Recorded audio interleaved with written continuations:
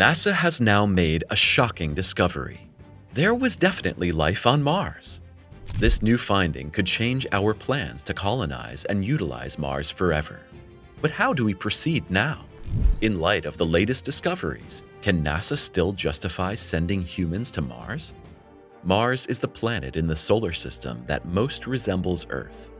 Unlike Venus, it is quite suitable for human life. Although no human could ever stand or walk unprotected on Mars, we could adapt our technology to survive in the environment. Protected by special spacesuits and breathing systems, Mars would be a realistic alternative to Earth in terms of surface conditions, temperatures, and gravity. But right now, we have to seriously ask ourselves whether a human will ever set foot on Mars. The latest discoveries are shocking and could thwart plans by NASA and SpaceX CEO Elon Musk to colonize Mars as early as the 2030s. What exactly has NASA discovered on Mars now, and why is it a difficult to assess danger? Mars, a green world like our own? It is no secret that Mars is a fascinating but desolate world. So far, we have seen nothing but rock and endless red deserts.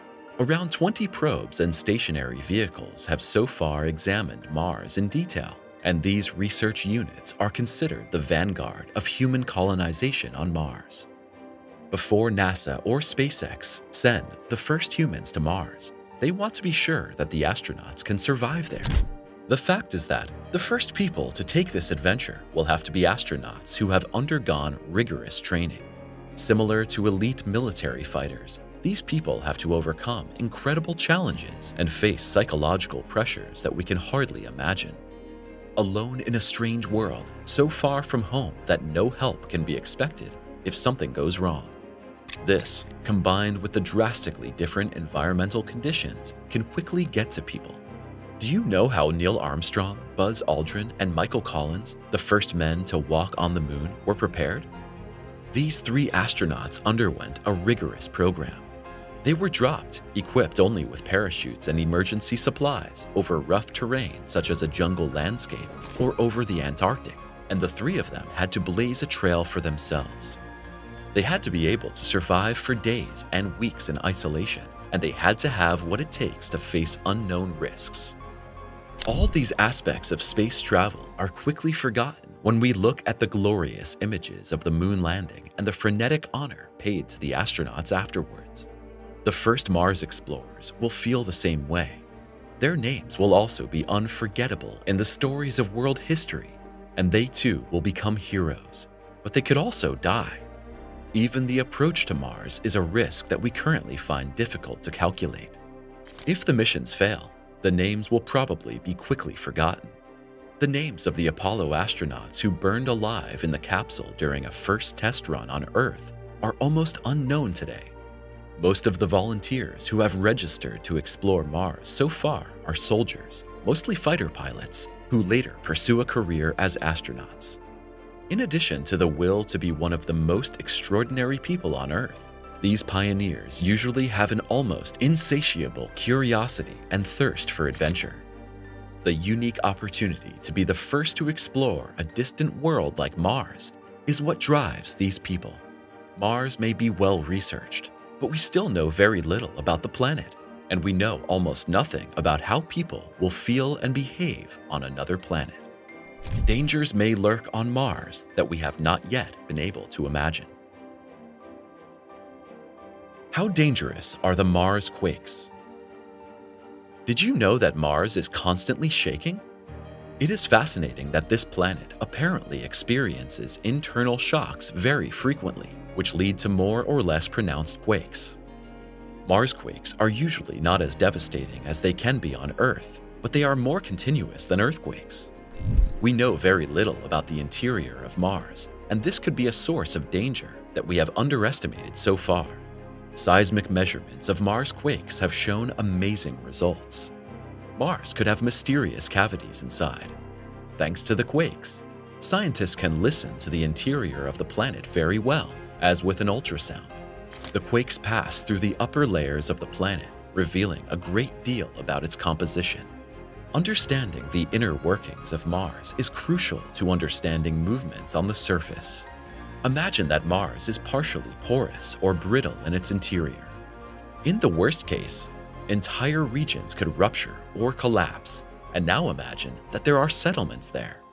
On Earth, we are familiar with such phenomena as suddenly sinking neighborhoods or even crevices like the San Andreas Fault. In addition, scientists are naturally eager to learn what is really in any cavities under the Martian surface. Simulations have shown that Mars could have been a similarly vibrant world to Earth a few hundred million years ago. It is possible that Mars had forests, rivers, oceans, clouds, weather, and a climate that was subtropical or Mediterranean. Then the planet changed. It increasingly lost its atmosphere and thus the ability to bind liquid water on the surface. Little by little, life disappeared, and eventually only what we can see today remained endless rocky deserts. But researchers have also found that certain residues from this living time could have retreated underground. Similar to the relics of the dinosaur age millions of years ago, hidden in the depths of the Earth's layers, with caves, mines, shafts, and possibly even underground lakes and oceans below them, similar residues could have formed on Mars. If there ever was life or even civilization on Mars, its relics would now be buried under a layer of debris and rock that is several meters or even hundreds of meters thick. But what if our settlers and explorers begin to make discoveries at these depths that we hadn't reckoned with or that are even dangerous? Imagine that at some point, extraterrestrial explorers or our own descendants unsuspectingly dig up our underground nuclear waste storage facilities or come across barrels of poisons and other waste that we humans store in tunnels and underground galleries. Mars as a habitable world? Have you ever heard of terraforming? It sounds crazy, but Elon Musk's plans include bombing the cold poles of Mars with nuclear explosive devices to melt the water, create an artificial greenhouse effect, and thus create a kind of biosystem, in theory at least. As utopian as it may sound, plans for terraforming are scientifically proven. It could really work. But what do we do if we no longer have control over the cycles that we have initiated? What if we upset the balance of Mars and possibly even endanger our own planet? Some scientists warn against overly crazy plans to intervene massively in a distant world. We must not see our planet as an isolated world.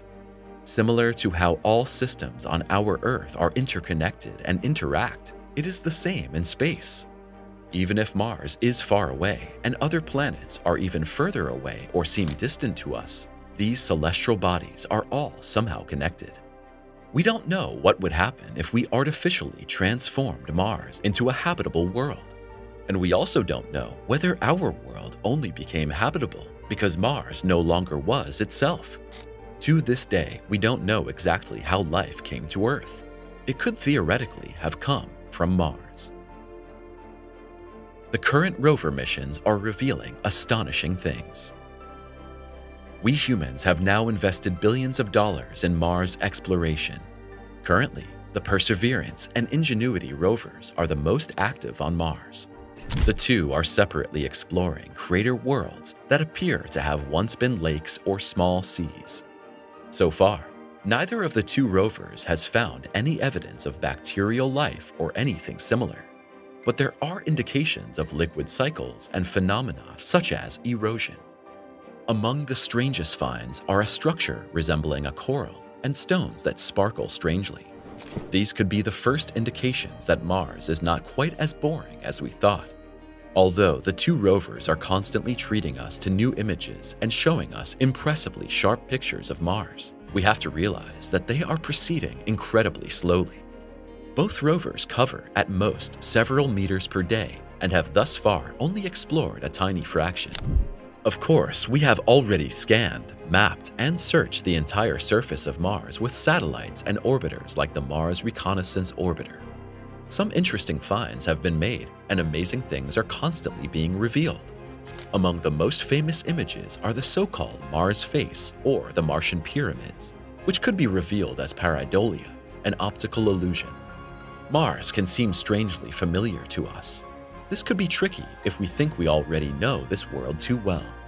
Imagine if aliens landed two or even 10 rovers on Earth, each exploring a different area.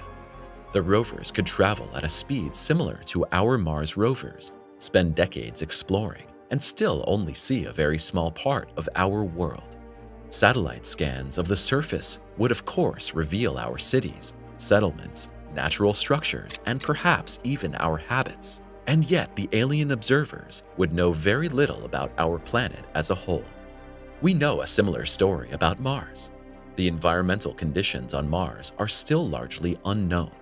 We know very little about the interrelations and chain reactions in this world. Violent Martian storms, sudden gas emissions, destruction by Martian dust, and other risks are incalculable. Did you know, for example, that moon dust can be deadly? The moon's fine and razor-sharp dust destroyed the zippers of the spacesuits of the Apollo missions, and particles introduced by moon dust have caused severe allergic diseases in NASA employees on Earth. The rock is also so sharp that equipment must be made of special fibers. We already know this about the moon and can prepare for it, but on Mars, there are many more unknown dangers lurking. The first astronauts to learn there will be at the mercy of this uncertainty for months. Subscribe now, the most exciting videos are yet to come.